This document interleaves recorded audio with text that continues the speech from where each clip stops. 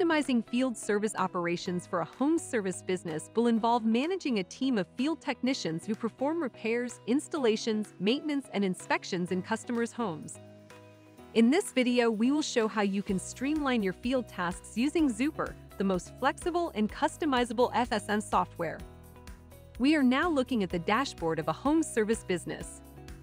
The dashboard gives an overview of the job statistics, statuses, customer feedback, team availability, and more. Let's start by creating a quotation for a customer. Click on Quotations in the left navigation bar. You can create customized quotations and share them with your customers quickly. Click on New Quote. Let's choose the customer in the Customer Details section. You can filter the customers based on category. Let's filter the residential customers. Choose the customer and the address from the ensuing pop-ups you can see that the billing contact information is pre-filled. You can check the box to use the same address for service contact information. Under Quote Details, let's enter the reference number.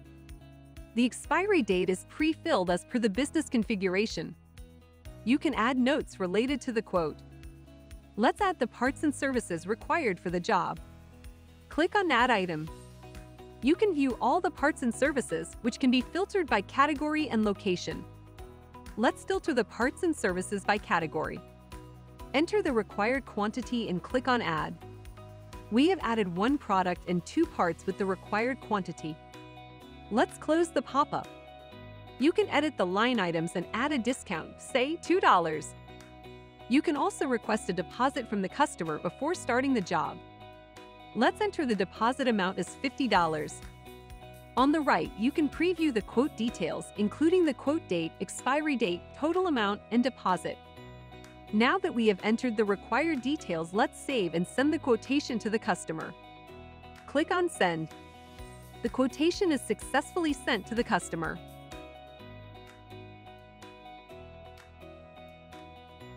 Let's view the email sent to the customer.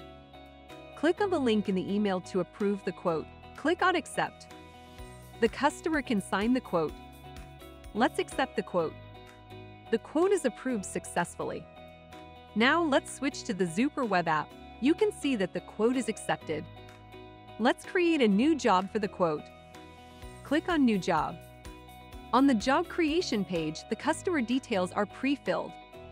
Moving on to the job details section, enter the job title as Deep Cleaning.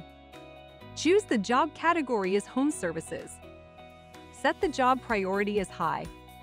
Pick the job start date and start time. The job end date and end time are pre-filled based on the job category chosen. Moving on to the next tab, let's assign the job to a field technician. Choose the team.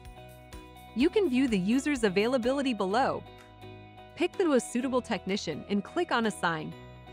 Let's move to the last section to preview and save the job. The deep cleaning job is created successfully.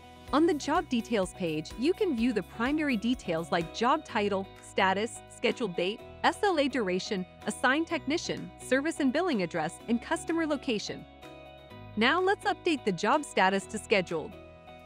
Select Scheduled from the Job Status dropdown and click on Update. We have created a deep cleaning job, assigned it to a field technician, and updated the job status. Now let's log into the Technician's mobile app. The Zuper mobile app equips your field technicians with customer data, job details, parts and service details, invoicing, and real-time communication capabilities. Under Notifications, you can view the job. Let's click on it. You can view the job details, including schedule, category, priority, and customer location. Let's accept the job. In the Job Details section, you can view the associated quote. You can update site images and other details as notes to the job. To do so, click on Add Note. Enter the note. Click on the image to upload the picture. Let's save the note. Using the inbuilt chat application, you can also chat with the back office staff or manager. You can request more information or assistance. The technician can now start working on the job. Navigate to the Status tab. Click on Start Working. Let's update the job status to In Progress. The job status is updated successfully. After the service, the field technician can update the job status as completed. To do so, click on Status. Select Change Status. Select Completed from the list of available statuses. You can collect feedback from the customer. The customer can sign and submit the feedback. The job status is updated successfully. Now that the job is completed, let's raise an invoice. To do so, click on the New button. Click on New Invoice. You can see that the customer details are filled in. Clicking on Next, you can view the job details. You can add items for approval from the list of available items or create a new one. Select Add Item. You can filter the listed products, parts, and services by category. Let's filter them by the Home Services category. Click on Add against the product. Enter the quantity and the discount. Click on Add. Let's repeat it for the other parts and services. You can see the total amount with taxes. Let's continue to the next step.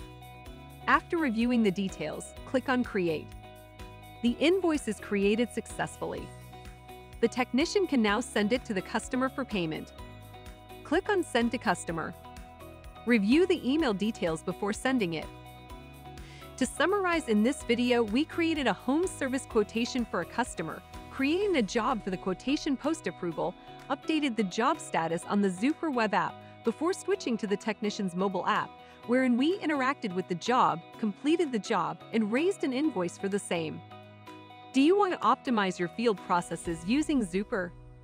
Schedule a demo with us today.